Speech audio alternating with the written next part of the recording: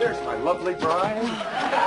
Hello, Luther. Huh? How was Wedding Central? Oh, unbelievable. I fired the florist and the flautist.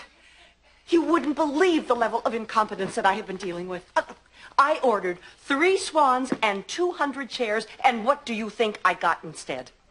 You're kidding. Unless we can sit on the swans, we have a big problem. I would give anything if just one thing about this wedding would go right. Which reminds me, I want to make sure my dress is right. Where is it? Oh, bye-bye. Take it easy. Miss later. See ya. Bye-bye. What was that all about? Oh, oh, nothing. They just probably knew that we wanted to be alone. Hayden. Okay, okay. They, they knew I wanted to talk to you. About what? Uh, the wedding. What's wrong? Well, what's wrong, Christine, is I, I think it's become too much about things. You know, it's, it's, all, it's all about swans and, and caterers and florists and flautists. You know, I think I'm really afraid that, well, we're losing track of, of, of what's important, you know, honey? I mean, none of that stuff, it, well, see, it's just window dressing. It doesn't really mean anything. Something happened to my dress. Something happened to my dress. That's why you're suddenly deep. Gee, Christine, if you can see through me that easily, where the hell's the mystery? I mean, what kind of journey of discovery are we going to have if you know everything before we get there? God, how bad is it?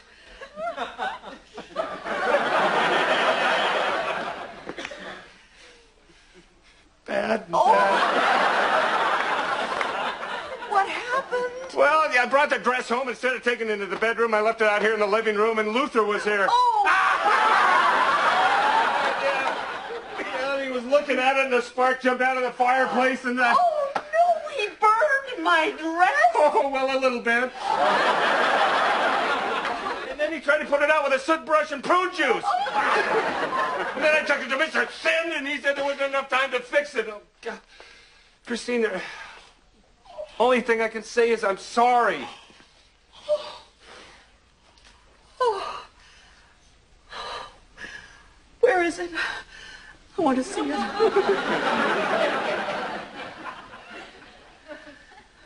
No, I don't think you do. I want to see the dress.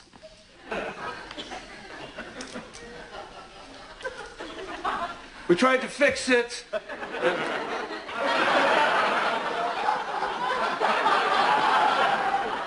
We spray painted the blue and the black spots, and then we uh, spackled the hole.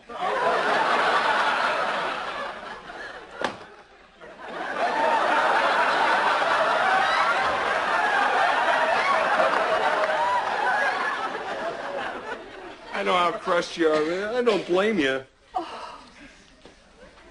How could you let this happen?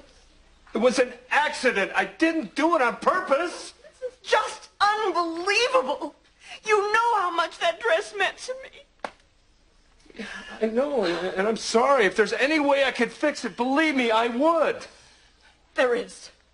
You can help me call 105 people and tell them the wedding is off. Well, what are you talking about? How do you expect me to get married without a dress? Jeez, Christine, I'm not marrying a dress. I'm marrying you. We can get married in blue jeans for all I care. Oh, that would be great. We could have a hoedown wedding. We could, get, we could get married on horseback. We can have franks and beans at the reception.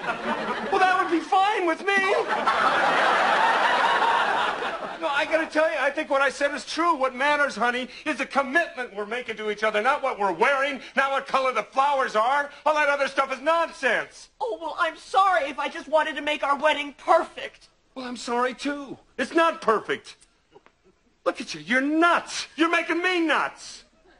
You're the one that taught me about priorities, Christine. What the hell are the priorities here? The wedding or the marriage? Well, the marriage, obviously. Well, that's what I think it is. That's what I think the priority is. But what, what the hell we've been talking about for the last five months? I think we're losing track of what's important.